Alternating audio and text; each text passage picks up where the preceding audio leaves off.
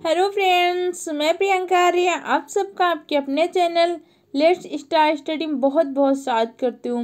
आज मैं आप सबके लिए सीटेड एग्ज़ाम के लिए ईवीएस का जो आप चैप्टर पढ़ रहे थे सेल्टर आज से उसका पार्ट टू लेके आई हूँ।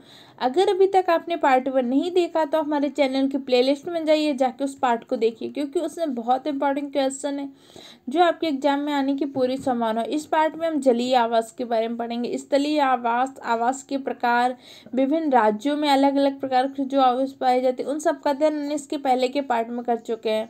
तो चलिए हम आज का अपना वीडियो स्टार्ट करते हैं। तो आज हम पढ़ते हैं जलीय आवास के बारे में। तो आपको पता है जलीय आवास कैसे कैसे हैं? मतलब किन जंतुओं को कहते हैं कि जलीय आवास में? जैसे तालाब है, झील है, समुद्र है, इनमें रहने वाले जीव जंतुओं के आवास को क्या कहते हैं? जलीय आवास कहते हैं। तो सबसे पहले आपको पता है जो आवास का शाब्दिक अर्थ क्या होता है? आवास का शाब्दिक अर्थ होता है वास स्थान। वास में मतलब रहना। जिस स्थान पे कोई व्यक्ति रहता है, वो क्या होता है? उसका आवास होता है। जैसे हम अपने घर में रहते हैं तो हमारा आवास होता है। और मनुष्य के आवास कैसे होते हैं? मुख्यतः दो प्रकार के होते हैं। पहला, स्थायी आवास दूसरा क्या होता है? अस्थायी। स्थायी आवास जैसे उसके घर होता है, ये क्या उसका स्थायी आवास अस्थायी आवास के अंतर्गत क्या होता है? जहाँ मनुष्य अस्थायी समय के लिए। जैसे कई बार क्या होता है? टेंट वगैरह लगा के किसी पिकनिक पे जाता है या पहाड़ों पे जाता है एक किसी और जगह तो क्या कहते हैं? टेंट वगैरह लगा के रहते हैं। तो ये किस प्रकार के उदाहरण है? आज तक आवास के। तो चलिए हम पढ़ते हैं। अब जब जलीय जीव जंतु करते हैं, जल में निवास कर रहे हैं तो श्वसन कैसे करते होंगे आप? तो जलीय जीव श्वसन के लिए क्या करते हैं? जल में घुली ऑक्सीजन का प्रयोग करते हैं। किसका प्रयोग करते हैं? जल में घुली हुई ऑक्सीजन का प्रयोग करते हैं। जलीय जीव जंतु क्या करते हैं? जल में घुली ऑक्सीजन का प्रयोग किसके लिए करते हैं? श्वसन के लिए। और यूट्रोफिकेशन, एक वर्ड आपसे अक्सर पूछे जाते हैं तो यूट्रोफिकेशन क्या होता है? जब जल में ऑक्सीजन की कमी हो जाए तो इसे क्या कहते हैं? यूट्रोफिकेशन। और यूट्रोफिकेशन के कारण क्या होता है? बहुत से जीव जंतु जलीय जीव जंतु क्या होते हैं? मर जाते हैं। तो आपसे कई बार यूट्रोफिकेशन वर्ड पूछ लेते हैं, इसका मतलब क्या होता है? जल में ऑक्सीजन की कमी हो जाने पर जो होता है तो उसे क्या बोलते हैं? यूट्रोफिकेशन। और जलीय जीव जंतुओं का श्वसनीय अंग क्या होता है? आपसे कई बार पूछ लेते हैं, जलीय जीव जंतुओं का श्वसनीय अंग क्या होता है? मतलब किस अंग के द्वारा श्वसन करते हैं? तो जलीय जीव जंतुओं का श्वसनीय अंग, उसका क्लोम होता है। क्या होता है? क्लोम। जैसे मनुष्य का श्वसनीय अंग क्या? फेफड़े। ऐसे जलीय जीव जंतु का श्वसनीय अंग क्लोम होता है। क्लोम को कई बार गलफड़े भी लिख देता है। हम चलिए पढ़ते हैं मानव के जलीय आवास कुछ जलीय आवास जिसमें मानव निवास करते हैं। पहले क्या? हाउस बोट के बारे में पढ़ते हैं।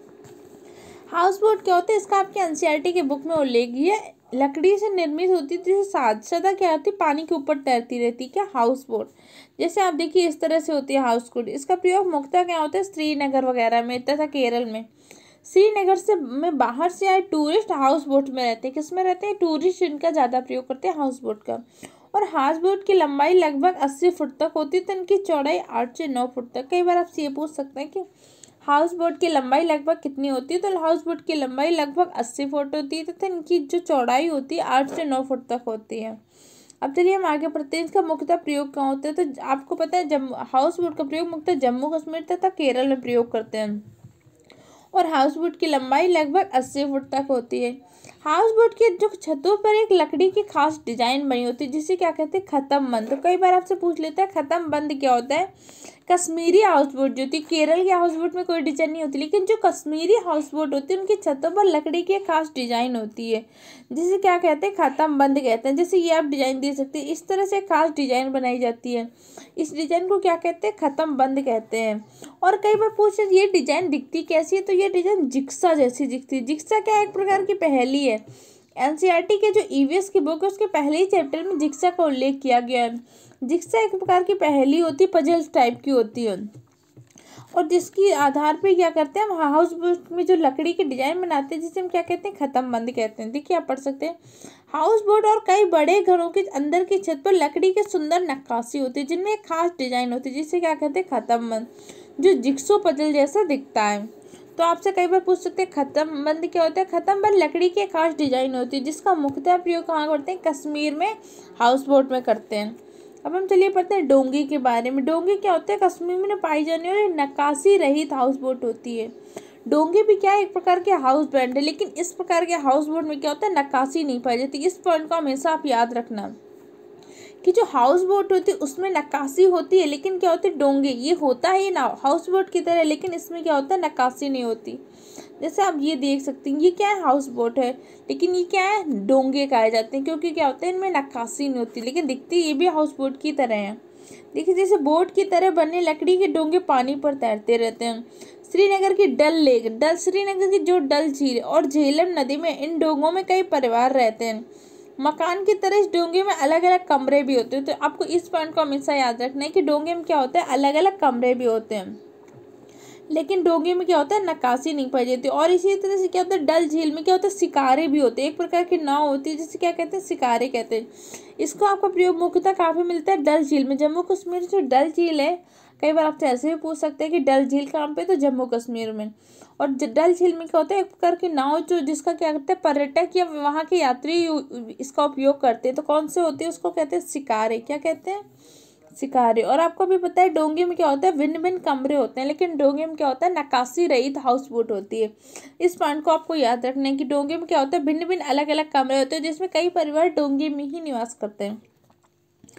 हम पढ़ते हैं जीव जंतु उनके आश्रय स्थल। जैसे बहुत सारे जीव जिसमें मैंने आपको बताया था कैसे होते स्थलीय जीव, जलीय जीव मुख्यतः दो प्रकार के होते हैं। स्थलीय जीव क्या होते हैं? वे जीव जो स्थल स्थल का तात्पर्य क्या होता है? भूमि, धरती, क्या होता है? भूमि, धरती, ज़मीन, ये सब क्या स्थल के पर्यायवाची आप कह सकते हैं। तो वे जीव जंतु जो क्या करते हैं? स्थल में निवास करते हैं, उन्हें क्या कहते हैं? स्थलीय जीव कहते हैं। जैसे क्या है? गाय भैंस, कुत्ता, गधा, घोड़ा, हाथी, गैंडा, ये आपके सब क्या स्थलीय जीव हैं? क्योंकि गाय आपकी कहाँ निवास करती? स्थल में निवास करती। भैंस आपकी स्थल में निवास करती। कुत्ता स्थल में निवास करता है। गधा स्थल में निवास करता है। घोड़ा, हाथी, गैंडा, ये सारे क्या स्थल में निवास करते हैं? कई बार बच्चों को क्या होता है? कन्फ्यूज़न हो जाता है। गेंडा गेंडा क्या एक प्रकार का स्थलीय जीव है, ठीक है? अब चलिए हम आगे पढ़ते हैं। आगे की जैसे आप ये देख सकते हैं, चीता। जिराफ ये सब क्या स्थल पे ही तो निवास करते हैं? तो इसलिए क्या इस प्रकार के एक स्थलीय जीव हैं? अब हम पढ़ते हैं कुछ जलीय जीवों के बारे में। जैसे सांप सांप स्थलीय तथा जलीय दोनों में आ जाता है, क्योंकि कुछ सांप ऐसे होते हैं जो स्थल में निवास करते हैं और कुछ सांप ऐसे होते हैं जो जल में निवास करते हैं। तो इनको आप उभयचर में रख सकते हैं। जैसे सांप है, मेंढक है, इन सबको क्या उभयचर में रख सकते हैं? उभयचर क्या होते हैं? जो थल तथा जल दोनों में निवास करते हैं। थल मतलब ज़मीन, स्थल। जो ज़मीन में भी निवास करें तथा जल में भी निवास करें जैसे सांप होता है, कुछ सांप क्या होता है, बिल बना के रहते हैं, और कुछ समाज सांप क्या होता है, जल में रहते हैं। मेंढक जैसे मेंढक क्या होता है, आपको जल में भी रह सकते हैं तो थल में भी रह सकते हो तो ये सब क्या होते हैं, उभयचर होते हैं। सांप मैडम मगरमच्छ मगरमच्छ कैसे हो, जलीय जीव है, कछुआ, ये सब आदि क्या जल में निवास करने वाले। इसलिए जल में निवास करने वाले क्या कहते हैं, जलीय जीव जैसे जैसे मछली है, भेल मछली है, ये सारी क्या है, जलीय जीव है। आपसे कई बार ऐसे पूछ सकते हैं, जलीय जीवों का श्वसनीय अंग क्या होता है? तो जलीय जीवों का श्वसनीय अंग क्या होता है? क्लोम होता है। क्या होता है? क्लोम, ये आपसे पूछ सकते हैं। मानव का श्वसनीय अंग क्या होता है? फेफड़ा होता है। अब हम चलिए आगे बढ़ते हैं। आगे हम पढ़ते हैं, जैसे सांप। सांप कैसा जली भी है तथा स्थली भी है। लेकिन वेल वेल कैसे जीव है जलीय जीव है सिर्फ़ क्योंकि वेल क्या होती है? जल में निवास करती है। ये कुछ पॉइंट है जिसमें बच्चे कई बार कंफ्यूजन हो जाता है। जैसे ऑक्टोपस वेल मछली, समुद्री गाय, स्टार फ़िश, डार्क फ़िश, ये सब आपके यहाँ जली जीव हैं। कई बार बच्चों को इसमें कन्फ्यूज़न हो जाए समुद्री गाय है, स्टार फ़िश है, डार्क फ़िश, इन सबसे आपसे नाम पूछ लेता है और या ऐसे दे सकते हैं कि बताइए इनमें कौन सा जलीय जीव नहीं है या कौन सा स्तरीय जीव नहीं है। तो इन सबको याद रखना, जैसे ऑक्टोपस ये ऑक्टोपस क्या एक प्रकार का जलीय जीव है। हम पढ़ते हैं पक्षियों के आवाज़ के संबंध में कुछ। इसके अब डिटेल में हमने जंतु और पादप वाले चैप्टर में बहुत डिटेल से समझा। इसमें हम सिर्फ़ पॉइंट टू पॉइंट रिवाइज कर लेंगे। अगर अभी तक आपने उस टॉपिक को नहीं देखा तो हमारे चैनल के प्लेलिस्ट में जाके उसमें डिटेल से उसको पढ़ लीजिए, क्योंकि पक्षियों के आवाज़ के बारे में मैंने आपको जंतु और पादक वाले चैप्टर में बहुत डिटेल से समझाया। तो चलिए, जैसे कौवा क्या होता है? कौवा पेड़ की सबसे ऊँची डाल पर घोंसला बनाता है। इस चीज़ को, जिसको मैंने हाईलाइट किया, इसको आपको हमेशा याद रखना है। क्योंकि एग्ज़ाम में इन्हीं सारे पॉइंट से क्वेश्चन पूछते हैं और बच्चे कन्फ्यूज़ रहते हैं कि कौन सा पक्षी जो पेड़ की सबसे ऊँची डाल पर घोंसला बनाता है? या कई बार पूछ लेते हैं, कौन सा पक्षी जो सबसे ऊँचे पेड़ पर घोंसला बनाने इन दोनों पॉइंट में वैसे बच्चों कन्फ्यूज़न रहता है। कौवा क्या करता है? जिस पेड़ में लेता है, उस पेड़ की सबसे ऊँची डाल पर घोंसला बनाते हैं। या कई बार आपसे ऐसे पूछ सकते हैं, कौवा घोंसला किसके द्वारा बनाते हैं? तो कौवा लकड़ियाँ, तार के द्वारा घोंसला बनाता है। ये जैसे कौवा, ये इसका फिगर आपके एन के बुक में दिया हुआ है। कौवा क्या करता है? पेड़ की सबसे ऊँची डाल पर घोंसला बनाता है। और कोयल क्या करती है? अपने अंडे कौवे के घोंसले में देती है। कहाँ देती है? कौवे के घोंसले में। और कौवा क्या करता है? उन्हें अपने अंडे समझ कर उनका पालन पोषण करता है। तो कोई एक कोयल एक ऐसी पक्षी है जो अपने अंडे किसी दूसरे के घोंसले में देती है। किसके घोंसले में देती है? कौवे के। अब फिर ये देखिए आपकी कोयल की इमेज दी हुई है। अब एक चिड़िया होती है, दर्जन चिड़िया। दर्जन चिड़िया क्या करती है? पत्तों को सीकर अपना घोंसला बनाती है। तो आपसे ऐसे पूछ सकते हैं, कौन सी चिड़िया है जो पत्तों को सी करके अपना घोंसला बनाती है? तो कौन सी है? दर्जन चिड़िया। दर्जन चिड़िया क्या करती है? पत्तों को सी कर अपना घोंसला बनाती है। जैसे आप ये देख सकते हैं, ये कौन सी दर्जन चिड़िया है? ये कह रहा है, चोच है मेरी, बड़ी निराली सुई है जैसे सिलनी वाले। पत्ते सिलकर घर बनाओ इस चिड़िया का नाम क्या है? जिस तरह से आपके एनसेटिक बुक में दिया। तो ये कौन सी चिड़िया दर्जन चिड़िया दर्जन चिड़िया क्या करती है? पत्तों से सीकर अपना घोंसला बनाती है। और कलचड़ी चिड़िया कलचड़ी क्या करती है? पत्थरों के बीच में अपना घोंसला बनाती इसको जो मैंने हाईलाइट किया, इसको बहुत अच्छे से ध्यान रखना। आपसे ऐसे पूछ सकते हैं, कौन सी चिड़िया पत्थरों के बीच में अपना घोंसला बनाती है तो कौन सी कलचड़ी चिड़िया और कौन सी चिड़िया का घोंसला जो होता है, डाल पर लटकता हुआ बनता है तो किसका होता है? बीवर वर्ड का। बीवर वर्ड अपना घोंसला क्या होती है? लटकता हुआ बनाती है। फाख्ता पक्षी जो होता है, झाड़ियों के मध्य अपना घोंसला बनाता है।